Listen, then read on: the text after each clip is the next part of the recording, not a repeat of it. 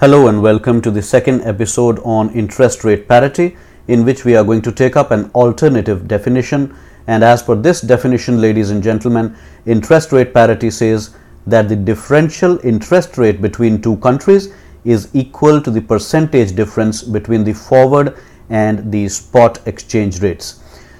Uh, both these variables my friends that is the differential interest rates and exchange rates move in opposite direction thereby implying an inverse relationship between them. Uh, that means to say that as the interest rate differential increases the currency value for the higher interest rate country should fall. Let us get going by assuming two gentlemen Mr. Al and Mr. Francois. Mr. Al is going to be our home investor. His home country is the US and naturally his home currency is going to be the US dollar. Mr. Francois is going to be our foreign investor. He belongs to France and his currency is going to be euro.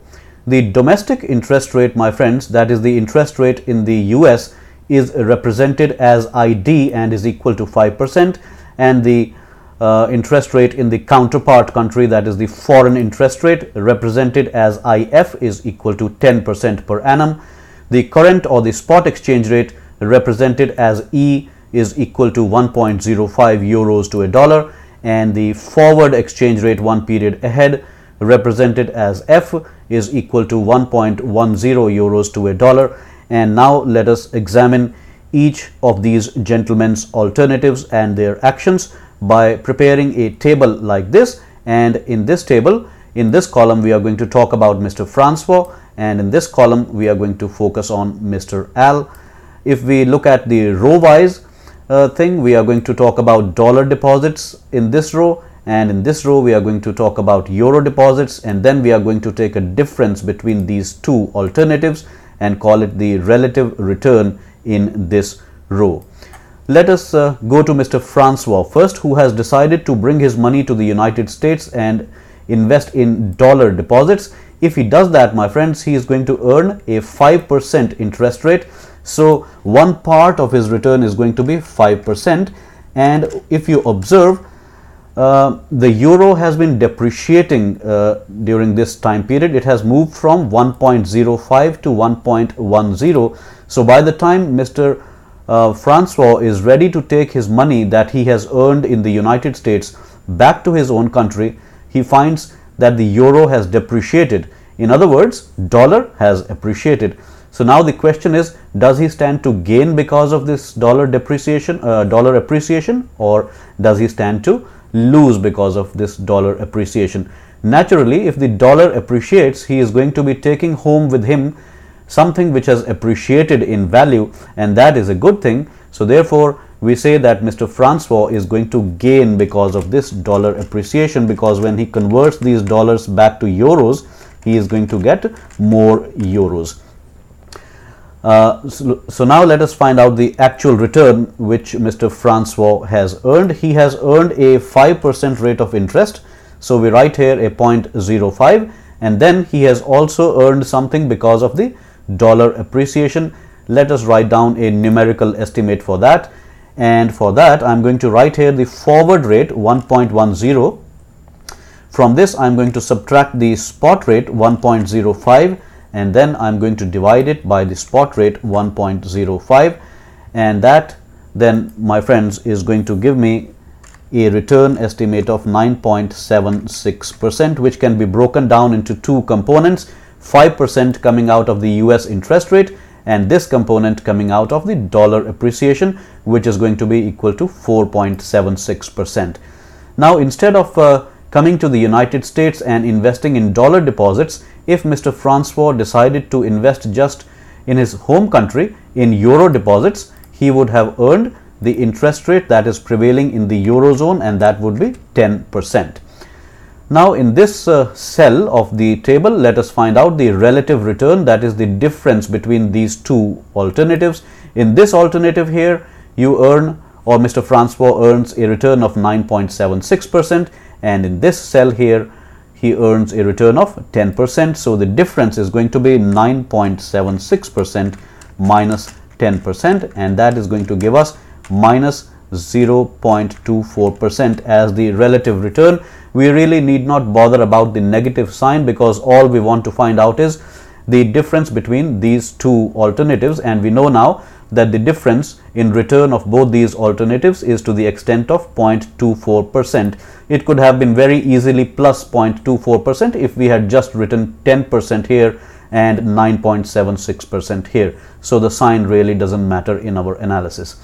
Now let us focus our attention to Mr. Al who decides to first of all stay home and invest in dollar deposits. If he does that, he is going to earn the domestic interest rate that is the US interest rate and that is equal to 5%. So let us write here 5%. And then if he decides to take his money abroad, that is to Eurozone and invest it there, he is going to earn there an interest rate of 10%.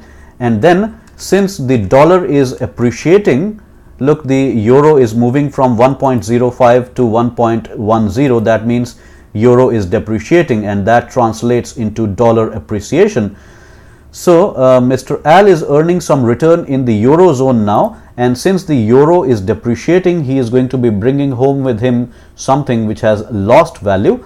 Therefore because of this depreciation in Euro or in other words appreciation in the dollar he is going to lose out. Mr. Francois gained because of this dollar appreciation and Mr. Al is going to lose out because of this dollar appreciation. I could have very well written here uh, euro depreciation but for the sake of maintaining the consistency since I wrote here dollar appreciation I have written the same thing here.